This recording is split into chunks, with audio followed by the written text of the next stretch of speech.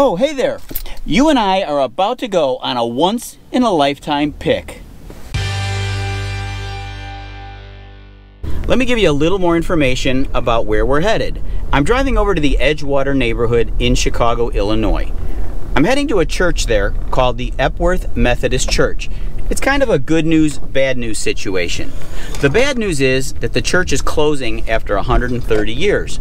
New at 10, it's the end of an era in Edgewater. The historic Epworth United Methodist Church will host its final service this Sunday.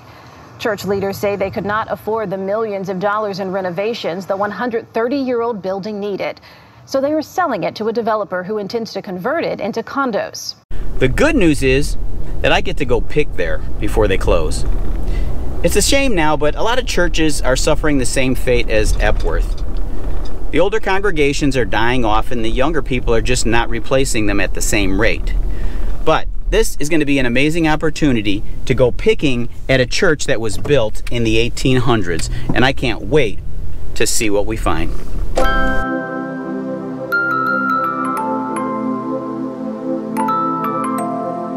This is a beautiful building built in 1890 on land donated by John Cochran, the developer of Edgewater. It is sad to see a sign like this sitting in front of an amazing building. This unique structure was built from stones brought over on a barge from northern Wisconsin. Let's take a closer look at the stonework. Let's head inside. This is a good start. Nice banker's chair, a small table,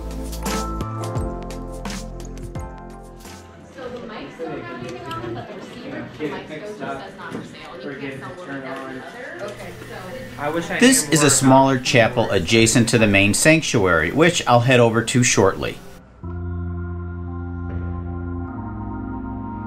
Ooh, these are some beautiful lights. They told me all the lights were already sold.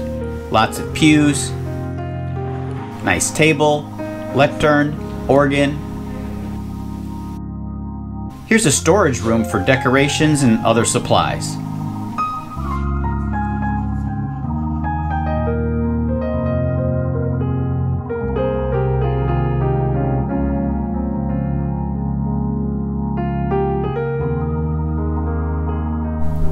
I do like those windows. Nice heavy base. It was probably used for a sign or a flag. They want 30 bucks for it. I'll pass. Here we go, the main sanctuary. Beautiful woodwork and craftsmanship.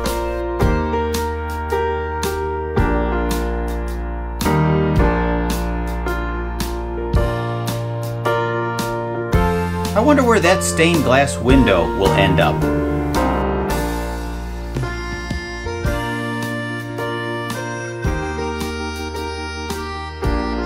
This looks like a nursery room.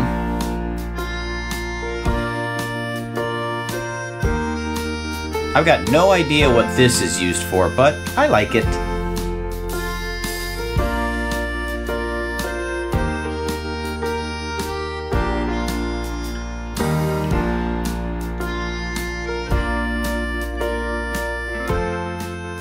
More fantastic lights already sold.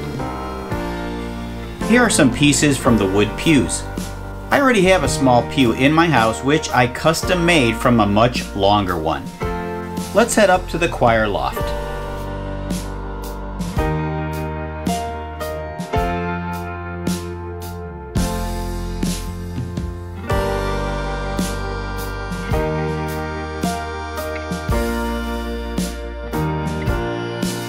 More storage space.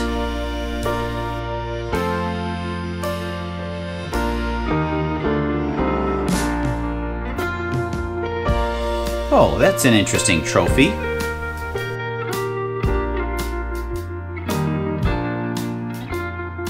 Time to head downstairs. Old churches as well as older homes tend to have many smaller rooms, closets, and storage space rather than more modern architecture where there's an open concept. These are cool. I don't know what they were or what they were used for. Not sure what I could do with them, so I'll take a pass. Here's an office area with the music library. Another office space. This was probably a real fireplace at one time. I think I'll head back upstairs to see what I missed. Here's a few interesting old lights. Pretty beat up, but that's my style. I'm gonna have to ask for a price on those. Oh, these look interesting and useful for something.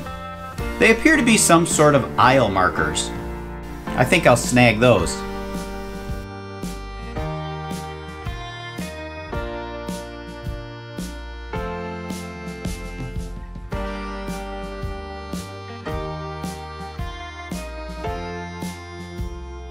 I went on the last day of the sale, so a lot of it had already been picked through, but I was able to find a few interesting items that will live on.